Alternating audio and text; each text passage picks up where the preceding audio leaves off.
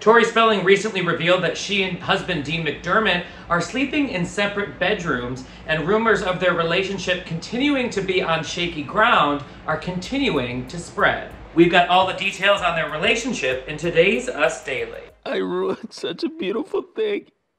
I don't deserve any of this. I don't deserve this beautiful family. A source tells Us Weekly that the news of them sleeping in separate rooms could signal a split. The source says, quote, They've been having major issues for over a year now. She went on to say, quote, the fact that she's talking about separate beds is very telling. She wouldn't do that unless things were really not great. Now, while she admitted on Jeff Lewis Live that she sleeps with her dogs and kids while Dean sleeps in a room at their home, whispers of marital woes began last year when Dean was notably absent from the family Christmas card. Also, both Tori and Dean stayed silent on social media around their anniversary in early May.